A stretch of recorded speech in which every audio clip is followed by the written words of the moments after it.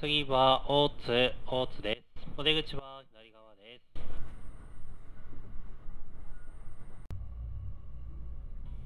まもなく大津、大津です。お出口は左側です。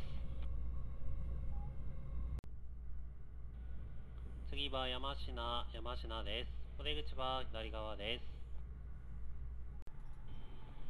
まもなく山科、山科です。お出口左側2番乗り場に着きます。湖西線普通近江松行きはホーム変わりまして3番乗り場から発車いたします。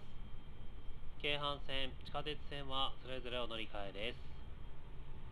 ご乗車ありがとうございました。山科に着きます。お出口は左側です。